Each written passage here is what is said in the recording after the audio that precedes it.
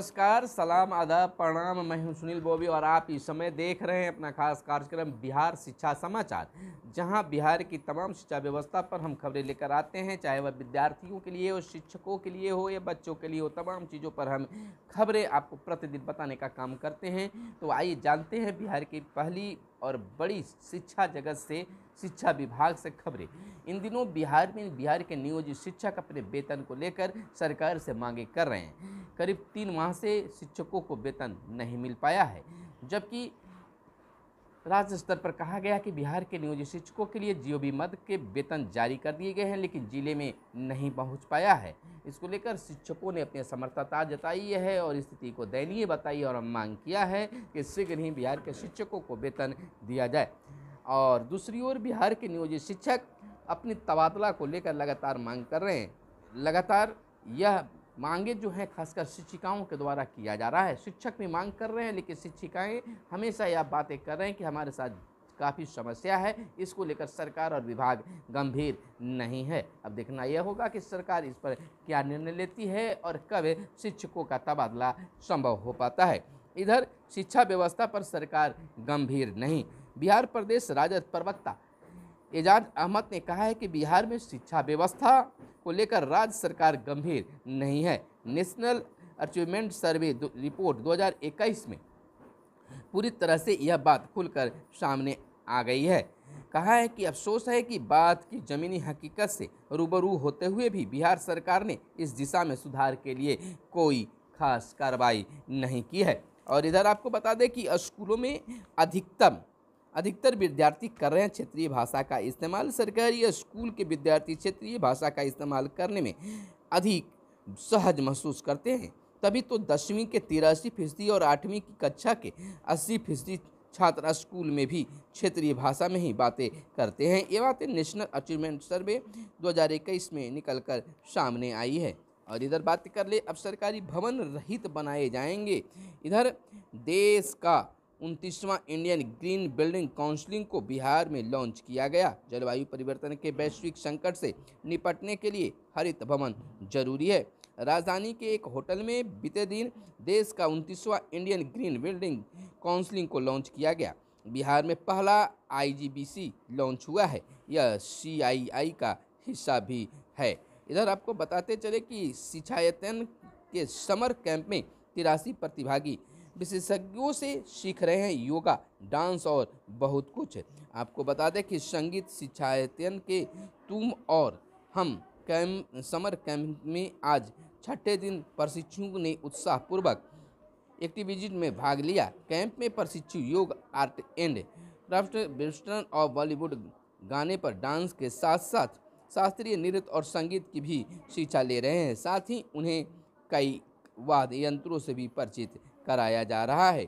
इधर आपको बता दें कि पीएम केयर्स फॉर चिल्ड्रन योजना के तहत सुविधाओं को भी जारी करेंगे। पीएम कोरोना महामारी से अनाथ हुए बच्चों को सहायता पहुँचाने के उद्देश्य से शुरू की गई पीएम केयर से फॉर चिल्ड्रन योजना के तहत 30 मई को प्रधानमंत्री द्वारा ऑनलाइन माध्यम से संपूर्ण भारत के लाभुकों को योजना का लाभ देने संबंधित एक कार्यक्रम का आयोजन किया गया है। यह कार्यक्रम 18 वर्ष से अधिक उम्र के बच्चों के लिए पटना समाहरणालय के एनआईसी कक्ष में वीडियो कॉन्फ्रेंसिंग के माध्यम से तथा 18 वर्ष के कम उम्र के बच्चों के लिए समाहरणालय सभा कक्ष में लाइव टेलीकास्ट के माध्यम से संपन्न किया जाएगा। और इधर पीएम के स्पॉट पर चिल्ड्रन की यह सुविधा जो है, यह खास माना जा रहा है और उर्दू शिक्षकों की नियुक्ति के लिए बन रहा है ड्रॉप्ड।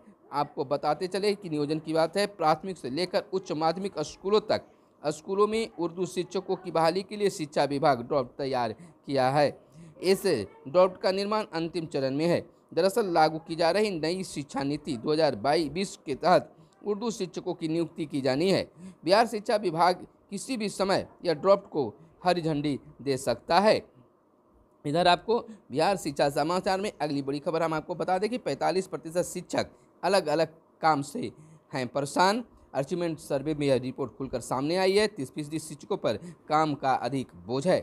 राज्य के पैंतालीस प्रतिशत शिक्षक अलग अलग काम मिलने से परेशान है। वहीं तीस प्रतिशत शिक्षकों का काम का अधिक बोझ है। करीब पचपन फ़ीसदी शिक्षक मिड डे मील के बारे में विचार करने में ही परेशान है। करीब पैंसठ फ़ीसदी शिक्षक औचक निरीक्षण से डरे रहते हैं और चौंतीस फ़ीसदी शिक्षकों को स्कूल में पढ़ाई के लिए पर्याप्त जगह का अभाव नज़र आता है। इधर मिले अवार्ड खिले चेहरे गोल प्रतिभा खोज परीक्षा का सम्मान समारोह। Goal talent search exam Patna zone का समान सम्मान समारोह संपन्न हुआ। पटना जोन से सभी क्वालिफाइड और अवार्ड विनर्स स्टूडेंट के लिए यह आयोजित किया गया था। और दूसरी बड़ी खबर की ओर अगर चलते तो शिक्षा व्यवस्था पर सरकार गंभीर नहीं, इसका आरोप राजद के द्वारा लगाया गया है। और फेस टू फेस के लिए आज से आवेदन, डीएलएड फेस टू फेस पाठ्यक्रम के 2021-23 के प्रथम वर्ष तथा सत्र 2020-22 के द्वितीय वर्ष के ऑनलाइन आवेदन 30 मई से भरा जाएगा। बिहार बोर्ड ने इसकी तिथि जारी कर दी है। और आपको बता दें कि स्कूलों में अधिकतम छात्र क्षेत्रीय भाषा में करते हैं बात। या खुलकर सामने आया है। अप्रशिक्षित शिक्षकों को तत्काल तीन महीने का वेतन भुगतान होने से राहत मिलेगी। और शिक्षा विभाग के निर्देश के आलोक में अप्रशिक्षित शिक्षकों को तत्काल तीन माह के वेतन का भुगतान होगा। मार्च, अप्रैल, मई माह का वेतन अपडेट कर दिया गया है। डीपीओ स्थापना। या मधुबनी से निकल के खबर सामने आई है। नसीमुद्दीन से वार्ता के बाद इसका निर्णय हुआ है। बिहार प्रदेश प्रारंभिक शिक्षक संघ के बैनर तले शिक्षकों की वार्ता के दौरान डीपीओ ने विभाग में हुए विभिन्न निर्णय का अवलोकन भी किया है। तो इस तरह से बिहार के अप्रशिक्षित शिक्षकों का जहाँ वेतन करीब साल भर से रुका हुआ था। उन्हें तीन माह का वेतन तत्काल देने की बात सामने आई है। महाराष्ट्र की अमान्य डिग्री पर बिहार के सैकड़ों लोग चयनित हुए हैं और सीबीएसई मूल्यांकन के बाद तय होगा टर्म एक और दो वेटेज। आपको बताते चलें कि सीबीएसई द्वारा दसवीं और बारहवीं टर्म टू के मूल्यांकन के बाद ही दोनों टर्म के वेटेज का निर्णय किया जाएगा। तो यह थी आज की खास आपको बिहार शिक्षा समाचार कैसा लगा? बेहतर लगा हो तो इस कार्यक्रम को लगातार हम चलाने का प्रयास करेंगे। आपको बता दें कि महाराष्ट्र में अमान प्रमाण पत्र से बिहार में अनुदेशक बनने आए विद्यार्थी, यानी अभ्यर्थी, महाराष्ट्र के शारीरिक शिक्षा एवं स्वास्थ्य अनुदेशक के पद पर बहाल होने के लिए सी पी एड और बी पी एड की जो डिग्रीधारी अमान्य हैं, उस पर बिहार में बड़ी संख्या में अभ्यर्थी नियुक्त होने पहुँच गए हैं। ऐसे सैकड़ों डिग्रीधारी चयनित भी हो गए हैं, लेकिन जब नियोजन इकाई और जिलों के शिक्षा महकमे के अफसरों की इसकी जानकारी हुई तो उन्होंने विभाग से तत्काल संपर्क किया, यानी कि बिहार में बाहर से लोग आकर डिग्री लेकर आकर और बिहार में नौकरी करना चाहते हैं। इसको लेकर सरकार गंभीर है। अब देखना यह होता है कि यह कैसे निकल कर सामने आती है।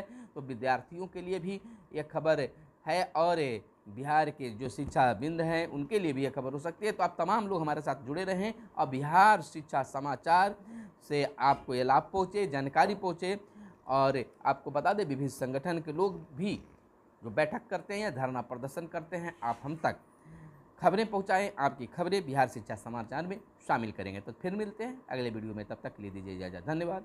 जय हिंद, जय भारत। वंदे मातरम।